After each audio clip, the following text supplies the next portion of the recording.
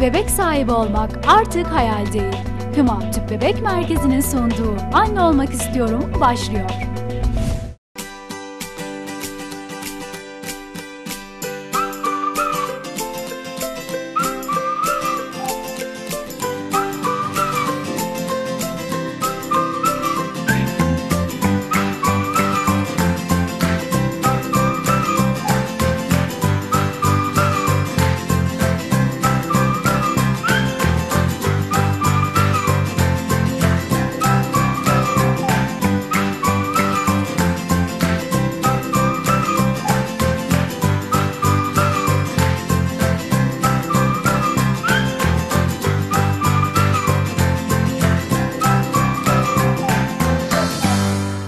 Değerli izleyenlerim, ekranlarınızın başına Anne Olmak İstiyorum programına hepiniz hoş geldiniz.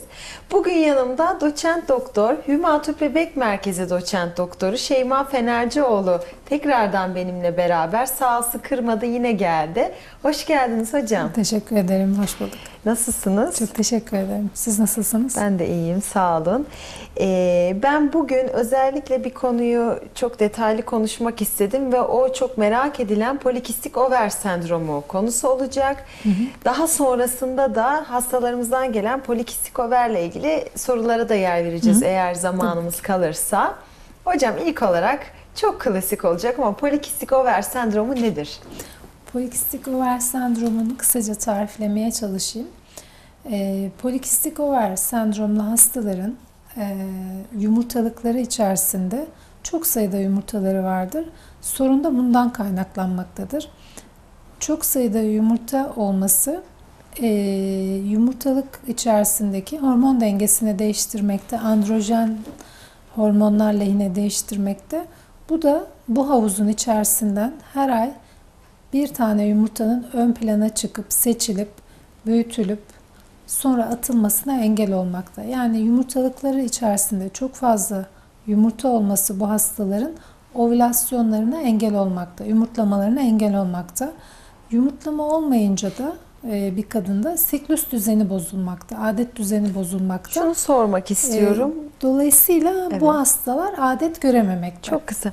Siklus e, biz burada konuşuyoruz ama Hı. bununla ilgili de mailler aldım açıkçası. Siklusu biz bilmiyoruz. Lütfen Hı. açıklar mısınız dediler. E, kadın periyodu, siklus Hı. E, dediğimiz olay da şudur.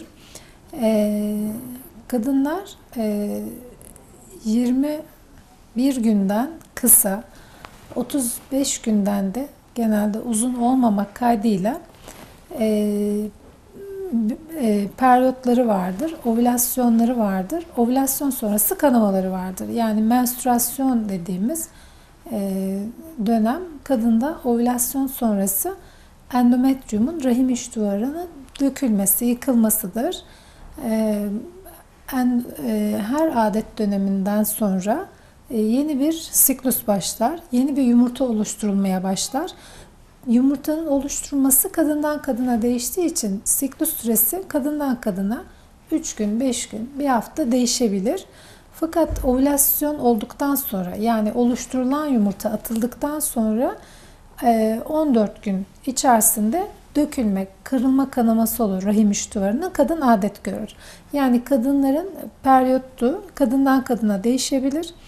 E, yumurtanın hazırlama süreci değiştiği için, olgunlaşma süreci değiştiği için fakat yumurta atıldıktan sonra 14 gün içerisinde kadın mensini görür, adetini görür. İkinci yarı sabittir. Luteal dönem dediğimiz ikinci dönem oldukça sabittir.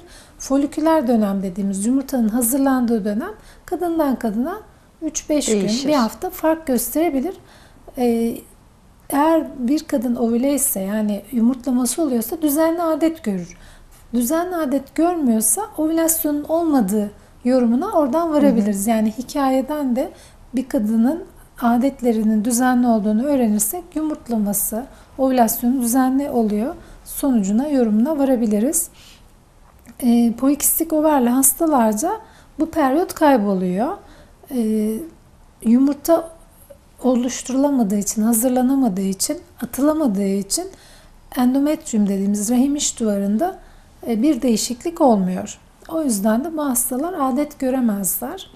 Ee, başka metabolik e, problemleri de vardır bu hastaların. Siklus düzenleri bozuk olduğu için. Bu hastalarda insülin rezistansı vardır. İnsülin rezistansı da şu demek. Direnci e, değil mi? İnsülin direnci de şu demek. E, e, daha yüksek düzeyde insülinleri vardır bu hastaların. E, insülinin hücre içerisine geçişi, kullanımında bir problem vardır. Bu yüzden e, şekeri depolamaya eğilimlidir bu hastalar, kilo almaya eğilimlidir.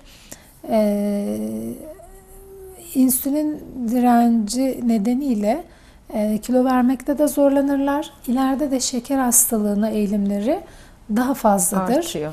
E, kilo aldıkça da e, yağ dokusunun da çünkü e, belli düzeyde bir hormon üretme şeyi vardır. Östrojen hormonu üretir yağ dokusu da bir miktar. Kilo aldıkça da siklus düzenleri daha da bozulur bu hastaların. Böyle bir kısır döngü içerisine girerler. Zamanla androjen şimdi kadının siklusunun ilk yarısında yumurta oluşturuluyorken östrojen dediğimiz yumurtalık hormonu da salgılanır. E, ay ortasında maksimum seviyeye ulaşır. E, ikinci yarıda luteal fazda yumurta atıldıktan sonra da progesteron hakimiyeti vardır. Yani kadında siklus boyunca değişen hormonların hakimiyeti vardır. Fakat polikistik overli hastalarda bu değişken süreç olmadığı için sürekli belli hormonların etkisinde kalıyorlar ki belirgin bir androjen hakimiyeti oluyor bu hastalarda. Androjenler de erkeklik hormonunun kadındaki karşılığı olarak e, söyleyebiliriz.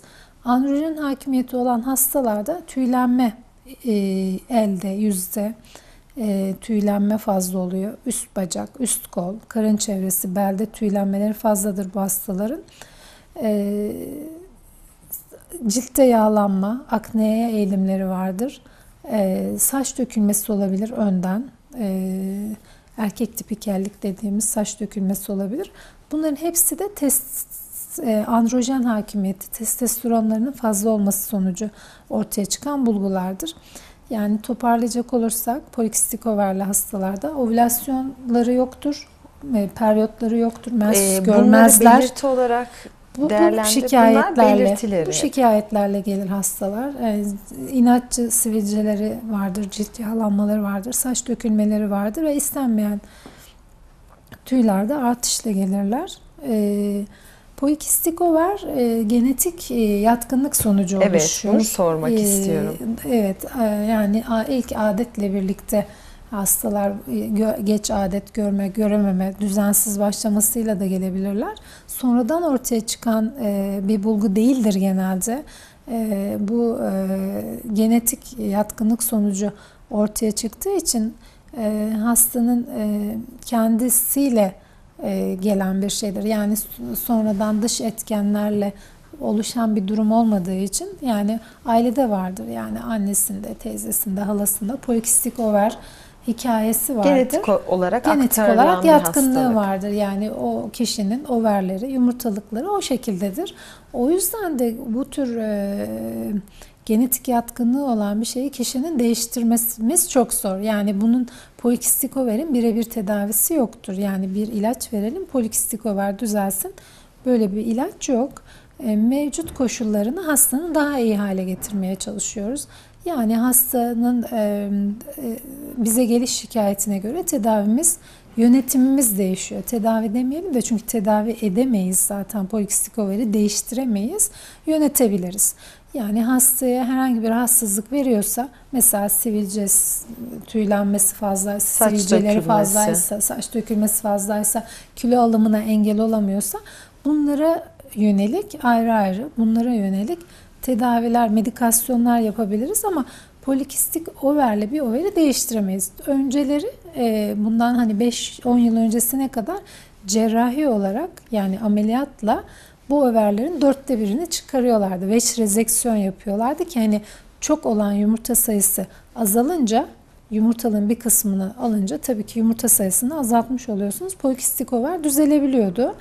E, fakat artık cerrahi yöntemlere pek başvurulmuyor. Bunun da kendine göre çünkü yan etkileri var, riskleri var. E, o yüzden hani e, hastanın e, durumuna hani genel durumunu düzeltecek, taleplerini karşılayacak bir tedavi, e, medikal tedavi düzenleniyor. Bu hastaların adet görmesi için günlük haplar dediğimiz e, doğum kontrol hapı olarak da kullanılan ilaçlar bu hastaların tedavisinde kullanılıyor. E, bir kişi e, doğum kontrol hapı kullandığı zaman dışarıdan belli bir miktar hormon almış oluyor. Dengeli bir hormonu almış oluyor. Onu aldığı zaman bütün hormona cevap veren kadının vücudunda cildi, saç derisi yani birçok doku, meme dokusu, endometrium, birçok dokumuz hormon hassastır. Yani vücudumuzdaki hormon dengesinden bu dokular etkilenir. Siz e, doğum kontrolü olarak üretilmiş bir ilacı alıyorsanız çok az bir miktarda, e, belli bir miktarda hormonu almış oluyorsunuz. Bunu alınca kişinin kendi yumurtalıklarının çalışması gerekmiyor. Kendi endojen hormonlarının çalışması gerekmediği için normal yumurtalıkları çalışıp da doğum kontrolü kullanan bir bayanla polikistik over olup yumurtalıkları çalışmayıp doğum kontrol hapı kullanan bir bayan arasında bir süre sonra fark kalmıyor. Yani polikistik over hani devre dışı kalmış oluyor. Doğum kontrol hapındaki hormon etkisinde kalıyor e, hasta. E, bu hormonlar da zaten çok az, e, minimum düzeyde ayarlanmış hormonlar olduğu için hastanın e, doğum kontrol hapı kullandığı zaman polikistik overli hasta hem düzenli adet görebiliyor hem de androjenlerin etkisinden kurtuluyor. kurtuluyor. Yani tüylenmesine, cilt yağlanmasına, saç dökülmesine iyi geliyor bu ilaçlar. Peki e, birçok kadın için e, kilo çok önemli. Hı hı. Ki hepimiz için Hı. öyle. Polikistik over sendromunda böyle bir ihtimal var mı? Polikistik over sendromlu hastalar kilo almaya eğilimli oluyorlar. İnsülin rezistansından dolayı. İnsülin rezistansı bir tür e, diyabet, şeker hastalığının başlangıcı gibi. Yani bu hastalar kan şekerlerini regüle etmekte zorlanırlar. Yani çabuk acıkırlar, kan şekerleri çabuk düşer. Böyle olunca da yemek yemek durumunda kalırlar. O yüzden insülin rezistansını kıracak e, önerilerde bulunuyoruz bu hastalara.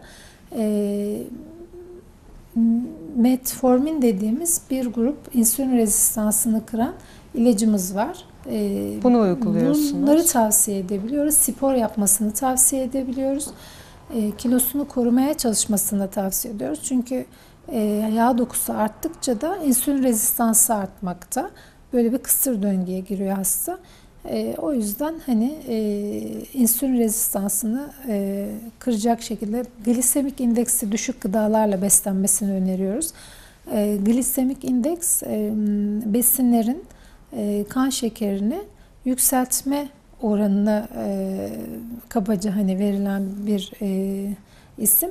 Glisemik indeksi düşük gıdalarla beslenirsek kan şekerimiz çok etkilenmiyor yediklerimizden. O stabil kalabiliyor, yükselmiyor. Ot gıdaları tercih edersek e, zamanla e, kan şekerimizdeki değişiklikler azalacağı için açlık, tokluk döngüsünden kurtulmuş oluyoruz. Polikistik over nasıl tedavi edilir hocam? E, polikistik overin e, dediğimiz gibi birebir tedavisi yok. E, çünkü e, bu yumurtalık yapısını değiştirmemiz dışarıdan müdahaleyle mümkün değil. Cerrahide dediğimiz gibi çok önceleri veç rezeksiyonlar yapılıyordu. Bir ara laparoskopi ile drilling yapılıyordu bu overlere. Yani e, overdeki bu e, birçok yumurtayı boşaltarak küçük bir iğne yardımıyla koterle veya lezerle drilling işlemi, ovaryen drilling deniliyordu buna da. Ama bunlar artık güncel değil. Çünkü bir takım onların da kendine göre yan etkileri var. O yüzden polikistik overli hasta eğer çocuk istemiyorsa ya da bekar bir hastaysa günlük haplar kullanabiliyor. E, günlük haplarla başka bir hormon dengesine kavuşmuş oluyor. Yani polikistik overin hormon dengesinden kurtulmuş oluyor. Çocuk isteyen evli bir hastaysa da yumurtlamayı uyarıcı ovülasyon indüksiyonu yapan ilaçlarımız var. Bunlardan verip ovülasyonunu, yumurtlamasını sağlıyoruz hastanın ee, ve çocuk sahibi olmasına yardımcı oluyoruz. Yani polikistik overle hastanın ihtiyacına göre hastayı yönetebiliyoruz. Polikistik overi çünkü değiştirmemiz mümkün değil. Zamanla şöyle bir şeyleri var polikistik overli hastaların. 35 yaş sonrası e, hızla yumurtalık kapasitesi azaldığı için her yıl %6 ile 10 yumurtalıklar küçüldüğü için polikistik overinde çok ciddi bir polikistik over değilse düzelebilme şansı var. Yani ilerleyen yaşlarda e, kadınların yumurtalıklarındaki yumurta sayısı azalınca polikistik overli hastaların yumurtalık kapasitesi de normal ile dönebilmekte. Peki o zaman e, çok can alıcı bu konunun bence en e, merak edilen sorusu polikistik over sendromunun gebeliği etkileyip etkilemediği. Polikistik overli hastalar ovülasyonları olmadığı için e, kendiliğinden gebe kalamazlar. Yani yardımla gebe kalabilirler. Yani ovülasyonu uyarıcı, arttırıcı ilaçlarla gebe kalabilirler. E, ovülasyonunu sağladığımız halde, ovülatuar hale getirdiğimiz halde 6 ayın sonunda gebe kalamıyorsa ancak o zaman hani diğer infertil hastalar gibi e, onları düşünmek lazım. Çünkü orada hani e, belirgin problem ovülasyonun olmamasıdır. Yani yumurtlama olmayınca hastanın da bir gebelik beklentisinin olmaması. Olmayınca da Gerekiyor. hasta tüp bebeğe yöneliyor. Ee, ovülasyonu hastada sağlayabilirsek e, kullandığımız ilaçlarla, Gerek tabletlerle gerek kalmayabilir. Ee, ama hani e, polikistik overli hastalar da çok geniş bir spektrum. Bazen hani ovülasyonu sağlayan ilaçlarla da e, ovülasyonunu sağlayamadığımız hasta grupları var. Ee, yoğun tedaviye rağmen yüksek doz ilaçlara rağmen ovülasyonunu sağlayamadığımız hastalar var. O grupta hani çok nadirdir ama onlarda hani tüp bebek tedavisi önerilebilir. Peki polikistik over sendromu olan hastaların tüp bebek şansı azdır veya herkes kadardır demek mümkün mü? Şöyle orada da e, tüp bebekte de şöyle bir sıkıntıyla karşılaşıyoruz o hasta grubunda. E, tüp bebek tedavisinde yumurtaları toplayabilmek için uyarı vermemiz gerekiyor öncesinde. Ovülasyonu sağlayabilmek için, e, folikül oluşturabilmek için. Bu hastalarda e, aşırı cevap, hiperstimülasyona gidiş çok yüksek oranda oluyor. Yani siz en düşük doz ilacı dahi kullansanız çok fazla folikül birden büyüyor. 20'den fazla folikül size büyüyerek cevap veriyorsa Peki bunlar kaliteli yumurtalar mı? Yumurta kalitesinde de sıkıntı oluyor tabii. Ee, çok fazla cevap verdiği zaman hasta e, endojen östrojeni çok yükseldiği zaman gebelik şansı azalıyor. Yüksek hormona maruz kalan yumurtalar da normalden daha sıkıntılı, döllenme oranları falan daha sıkıntılı olabiliyor. Yani hiperstimülasyona gidiş çok yüksektir bu hastalarda Ee, ve yüksek endojen östrojen 5000 üzerinde eğer e, östrojenle karşı karşıyaysanız e, gebelik şansları az oluyor. Endometriyumu da etkiliyor tabii yüksek östrojen düzeyi. Topladığınız yumurtaların kalitesini de etkiliyor. Gebelik oranları e, çok fazla yumurta toplamış olmanıza rağmen e, daha az olabiliyor polikistik overli hastalarda. Genetik olduğundan konuştuk o zaman e, kalıcı olduğunu söyleyebiliriz. Evet yani çok az bir düzelme oluyor yaşla birlikte hani ileri yaşlarda 35 yaş sonrası 40 İlaçla yaş da sonrası. tedavi veya direkt İlaçla dediğiniz gibi. e, birebir tedavisi yok ama hani kişinin ihtiyaçlarına yönelik onu daha rahat, daha normal bir endojen hormon düzeyine taşımaya çalışıyoruz. Ee, şöyle bir algı yanlış sanıyorum. Polikistik over sendromu küçük yaşlarda olmaz.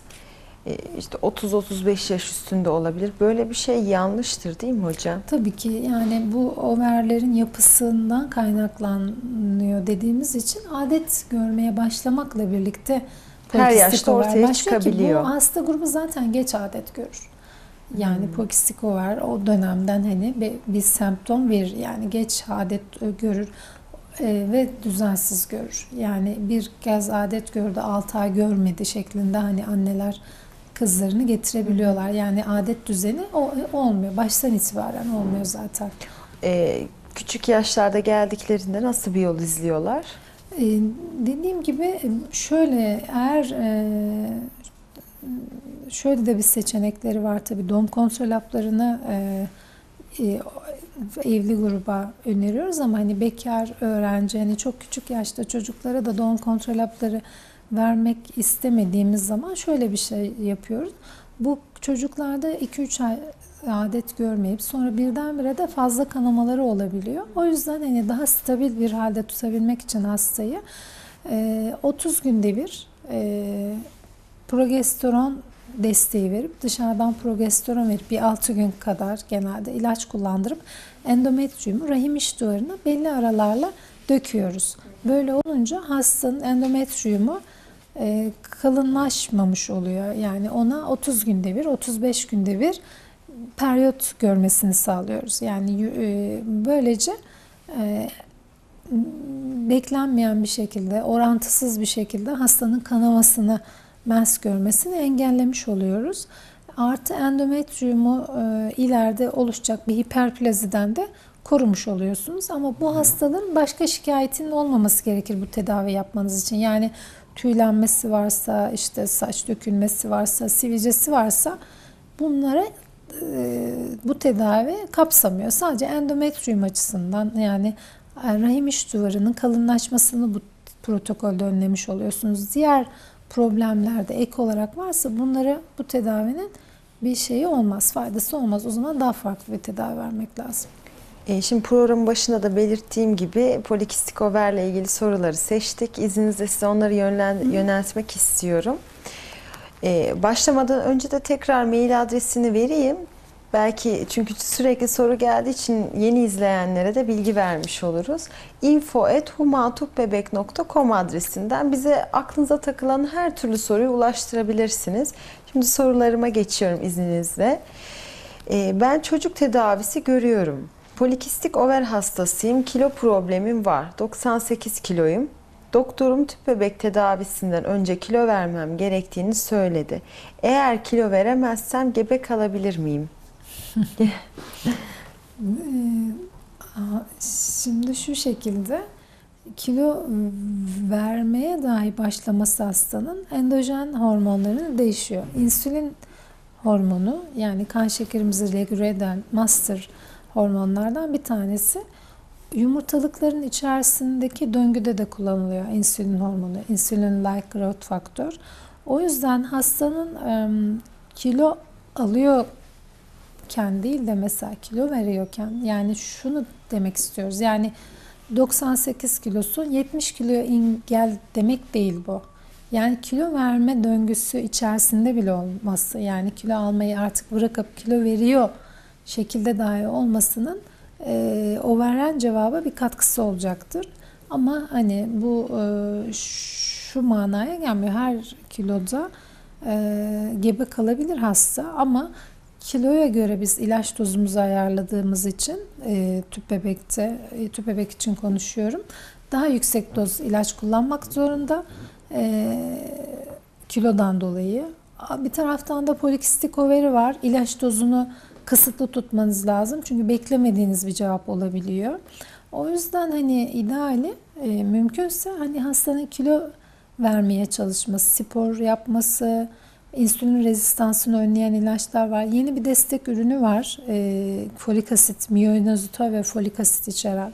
Mesela o ürünü kullanarak tüp bebeğe hazırlık yapması, gebe kalmaya hazırlık yapması e, hastanın cevabını daha güzel hale getirir. Hastayı komplikasyonlardan korumuş olur. Yani siz kilosundan dolayı hastaya yüksek doz ilaç vermek durumunda kalıp bu sefer de yumurtalıkların aşırı cevap vermesine neden olabilirsiniz. Yani hekimin elini kısıtlayan bir faktör hastanın kilolu olması. O yüzden hani verebiliyorsa, başka bir sağlık sorunu yoksa e, kilo vermeye çalışmasında fayda var. Ha, aslında sadece e, gebelik şansı için değil, tabii, sağlığı açısından oluşan, da. Tabii oluşan gebeliği taşımak şey açısından şey da önemli.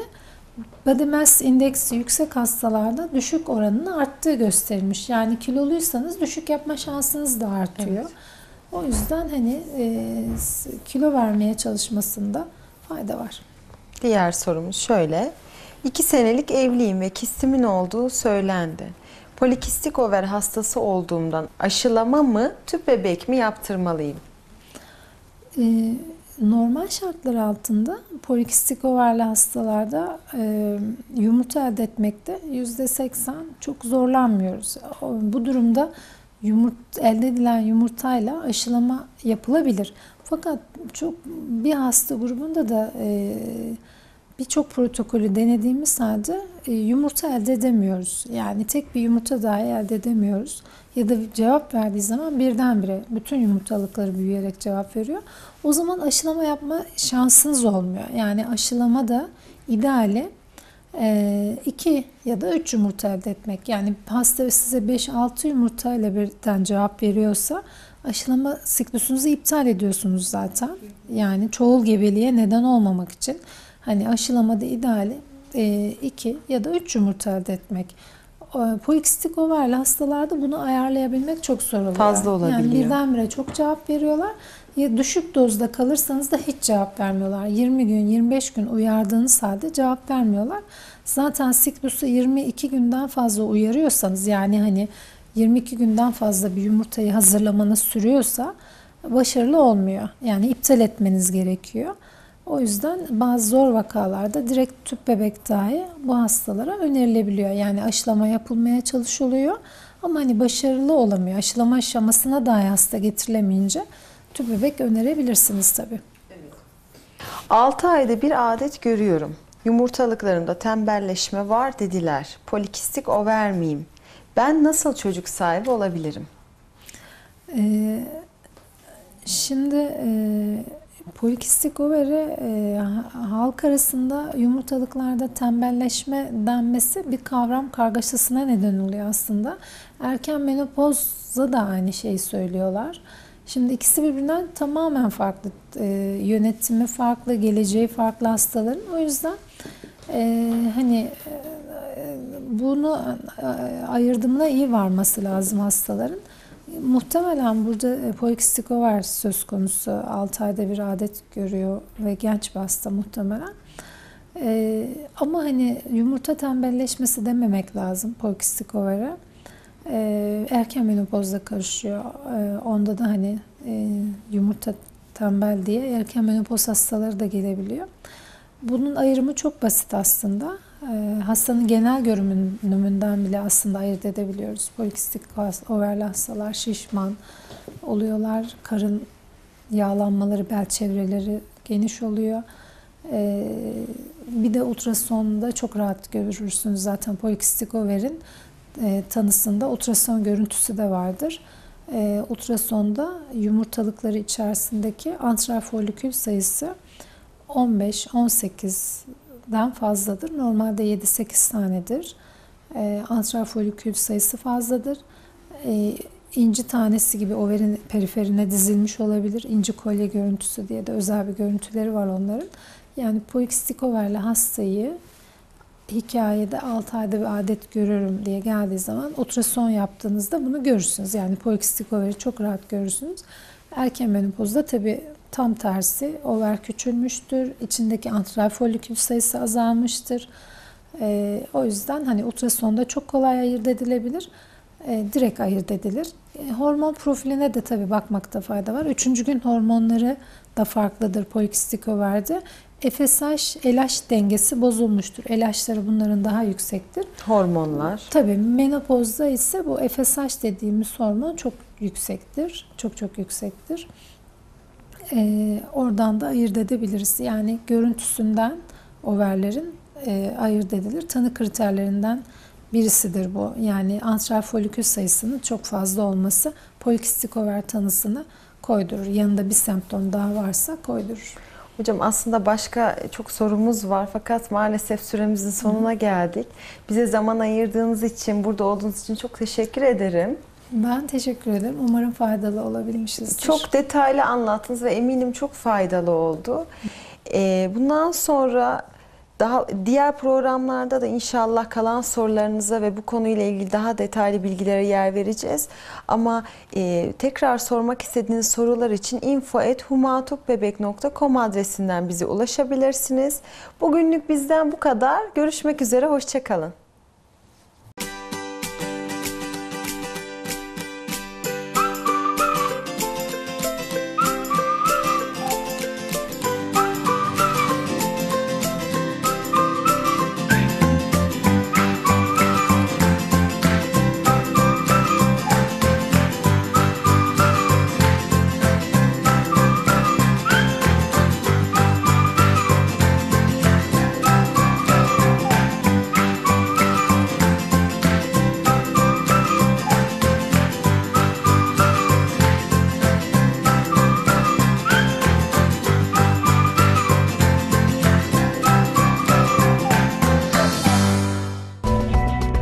Bebek sahibi olmak artık hayal değil. Hüma Tüp Bebek Merkezi'nin sunduğu Anne Olmak İstiyorum sona erdi.